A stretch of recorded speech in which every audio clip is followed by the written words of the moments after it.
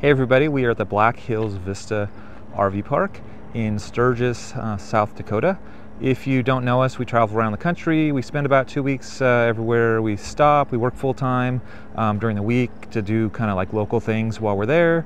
Um, and then we normally have like two weekends to kind of just explore. When we leave campgrounds, we like to post little videos, um, kind of helpful videos most of the time of our experiences in the area and the campground. Um, so um, if you don't know where Sturgis is, first off, I'll throw that up on a map. Um, obviously, it's well known for uh, motorcycles and the motorcycle rally, and we came here because it was so well known. Um, we just kind of wanted to check it out. Um, so anyway, behind me is the campground, and I will just kind of pan around and you can see it. Um, the campground itself is a very no frills um, campground. but with the with it being no frills, the cost to stay here for us was around $300. That's fairly reasonably cheap. Um, cheap, cheap, cheap, cheap, cheap, very cheap. Um, and yeah, that's basically, there's another section of the campground that looks almost exactly the same as what you saw. Um, so um, what you kind of get is this is what a site looks like. Um, it's about 100 feet long, which is amazingly long. Um, it's super, super wide. Um, I didn't pace it off. It looks about like 30 feet wide. Um, like seriously, like our camper is right here and you can see the next site is like way, way, way super, like over here, like where that that that, that stake is. I mean, you could put two fifth wheels side by side and maybe two travel trailers in back. I mean, these sites are ridiculously big. Um, if you look behind me, you're going to see like Class A with a enormous uh, triaxle trailer behind it, and they are in their site. They're not with no problems at all with um, with space. Um, it is very windy, so hopefully there's not a lot of wind noise um, on, that's coming through um, on the video. The campground itself is on this vista, meaning it is kind of like on this flat, it's very, very flat here, um, hill. And behind me, if you look down, there is a enormous hill and another campground. yeah, um, lots and lots of campgrounds. Um, Sturgis is like roughly over there where that big repeater tower is. That's uh, 300 feet, 400 feet from me. So obviously the signal strength, if you have like Verizon or AT&T or T-Mobile or whatever you have, is going to be really, really incredibly strong because there's a repeater right in the middle of the campground. Um, so if you want to work here like we did, yeah, great service. Um, sometimes it can be hit or miss, especially in valleys like when you go to campgrounds. Not here. We're at the very top of a mountain and we have line of sight to the repeater, so that's super, super cool. Um, because this is like, you know, no frills. They have like well, kind of what you expect. You know, you know, they have water, they have sewer, they have electric, um, 30, 50 amp. Um, the campground office is this little building over here.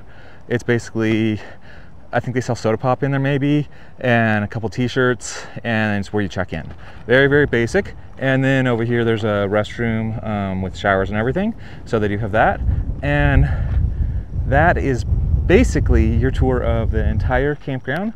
There is a dog park um, over in the other section. Maybe I'll like throw up some um, little footage of that area. There is a few things to point out, um, very, very super important. First off, the road to get up here is this little like tiny private road.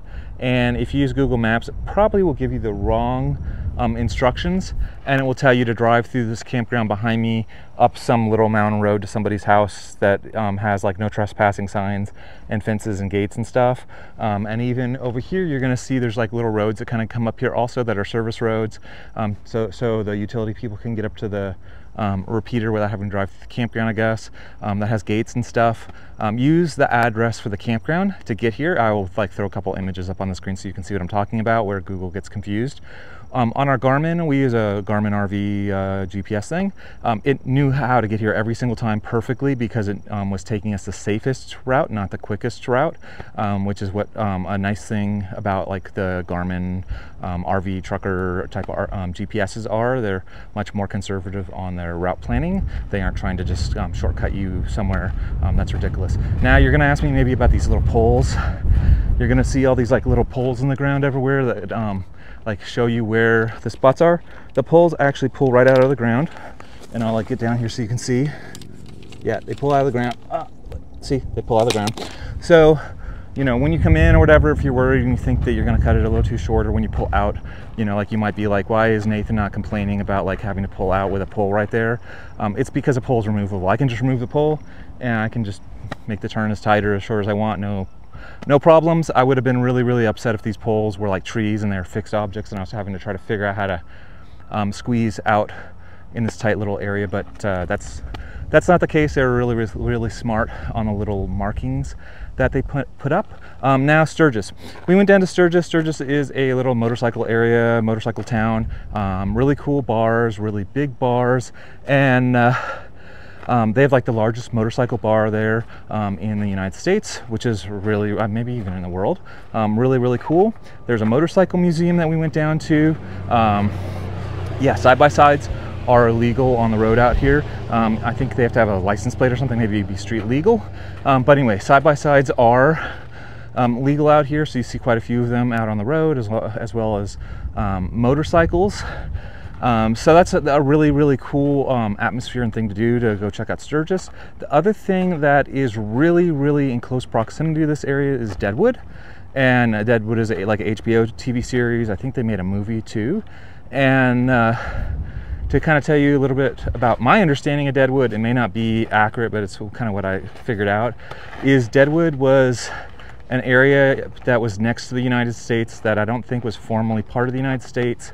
And these people live there and they, it was like Western stuff and pretty crazy um, stuff going on because there wasn't really any real regulation and they're really concerned about becoming a territory and then statehood and everything. So it's super, super, um, super drama, Wild West, um, anything goes. And that town is right, right, right over there. It's like 20 minutes away.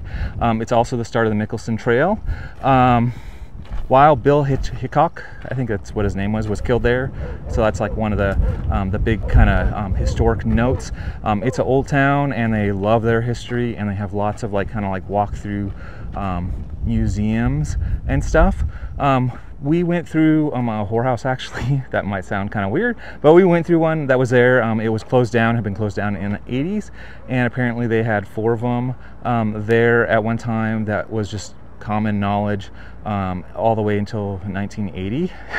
so that's how much they were able to like get away with um, stuff that normally is not like really permitted in most cities. Um, really, really kind of interesting history. So if you're in the area, I would say go check out Deadwood also while you're up here because you're gonna kind of um, miss out if you don't do Stur at least Sturgis and Deadwood, um, and they're like like 20 minutes apart. The nearest large city is Rapid City, um, just like I said in the last video when we were um, at Mount Rushmore. Mount Rushmore, if you're interested in that, is um, I want to say it's about an hour-ish, hour and a half away from here. Um, so it's a little bit of a drive, but you could drive down to Mount Rushmore from here if you really wanted to, to check it out. Um, or you could go camp over near Mount Rushmore. We have made a video um, of us out there doing all the Mount Rushmore stuff, as well um, as all the um, camping and stuff that we did out at Mount Rushmore.